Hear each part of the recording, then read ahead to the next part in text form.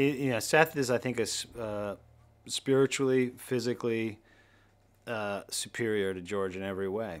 You know, um, and uh, I think Seth, although he's very modest, uh, looks for all places to prove that he is better than George.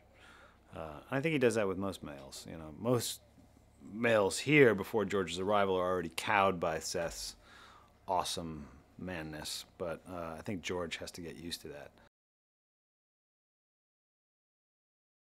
He is a uh, a baller improviser. He's just a really fun. Some of the funniest stuff actually has come out of Paul going. Oh, it's just he has just sort of a very interesting angle on on jokes, um, and he's tossed me a couple lines for me to say, which he's also which also shows his generosity as a as an actor. He'll say like, well, maybe we, maybe it's like this, and then I'll say that, and it's the it's the funniest take we could have gotten.